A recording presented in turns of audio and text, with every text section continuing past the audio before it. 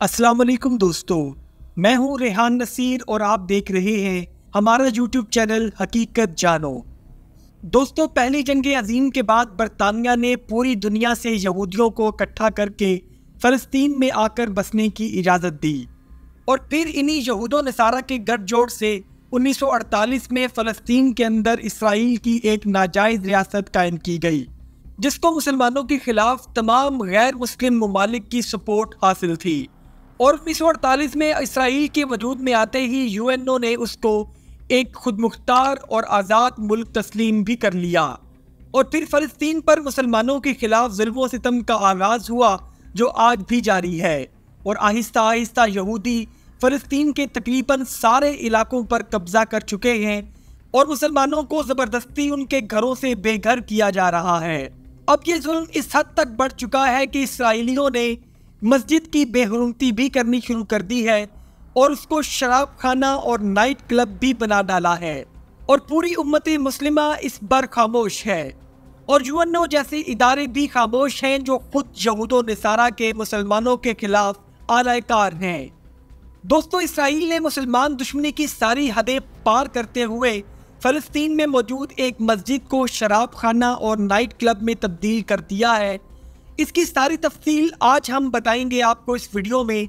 दोस्तों, इसराइल इस वक्त फ़लस्तीन के तकरीबन नब्बे फ़ीसद इलाके पर कब्ज़ा कर चुका है और वहाँ दिन रात यहूदी कॉलोनीज बनाने में मसरूफ़ है।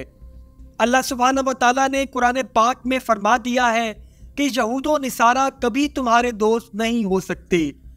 ए ईमान वालों, यहूद नसारा को अपने हिमायती और पुष्ट पना ना बनाओ। वो खुद एक दूसरे के पुष्ट पनाह हैं और मददगार हैं।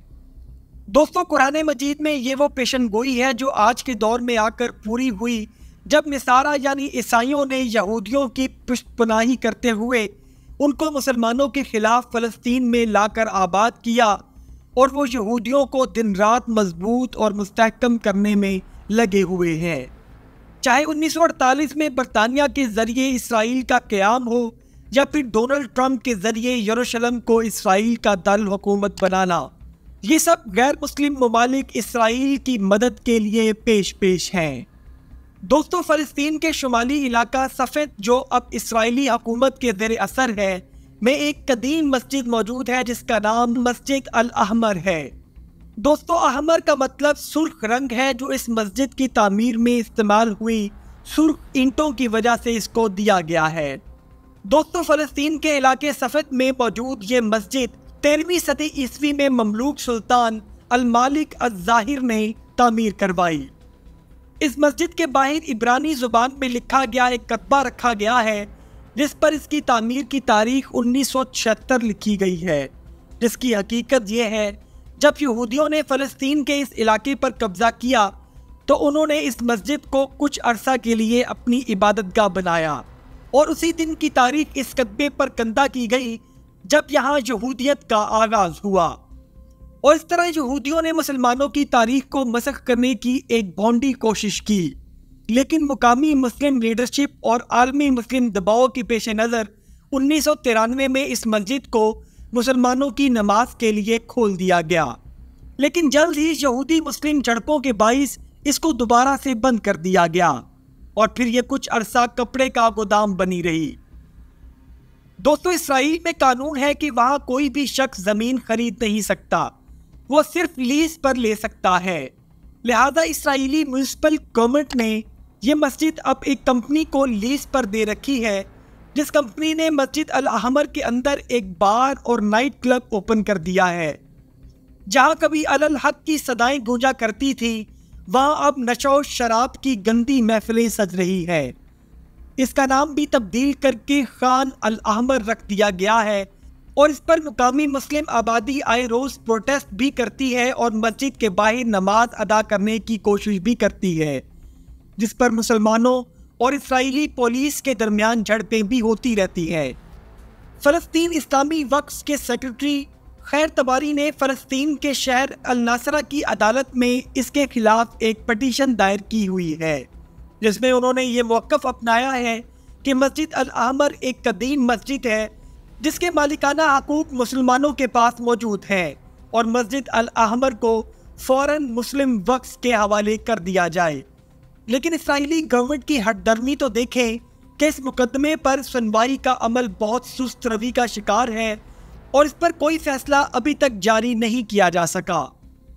दोस्तों, सिर्फ़ ये एक मस्जिद नहीं, बल्कि फ़लस्तीन में मौजूद ऐसी कई मसाजिद को यहूदियों ने अपनी इबादत गाहों में तब्दील कर लिया है, या फिर उनकी बेहरमती करके उसको किसी दूसरे इस्तेमाल में लाया जा चुका है, ताकि वहाँ के रहने वाले मुसलमानों के दीनी तशखस की पामाली की जा सके।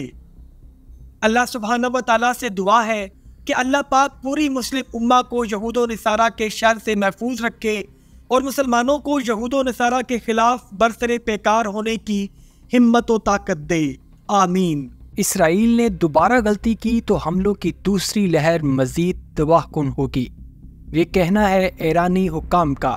ईरान की जानब से इसराइल पर मंगल की शब मिज़ाइल हमलों के बाद ईरानी पार्लियामेंट की कौमी सलामती और खारजी पॉलिसी कमेटी के सरबरा इब्राहिम अजीज़ी ने कहा है कि ये पासदारान इनकलाब के हमलों की पहली लहर थी। ईरान के सरकारी टीवी पर उनका कहना था कि इसराइली फौजी मराकज और तनसीबात हमारे अहदाफ थे, लेकिन मुमकिन गलत फहमियों की वजह से इन हमलों में आम शहरी भी मारे जा सकते हैं। इब्राहिम अजीज़ी का ये भी कहना था कि अगर इसराइल दोबारा गलती करता है तो दूसरी लहर आने वाली है, जो मजीद तबाहकुन होगी। उन्होंने मजीद कहा कि ईरान के जायज़ों के मुताबिक इसराइल आज रात ईरान के हमले का जवाब नहीं दे पाएगा। और दूसरी जानब, इसराइली फ़ौज का ये कहना है कि ईरान की जानब से इसराइल पर तकरीबन 180 बैलिस्टिक मिज़ाइल दागे गए हैं।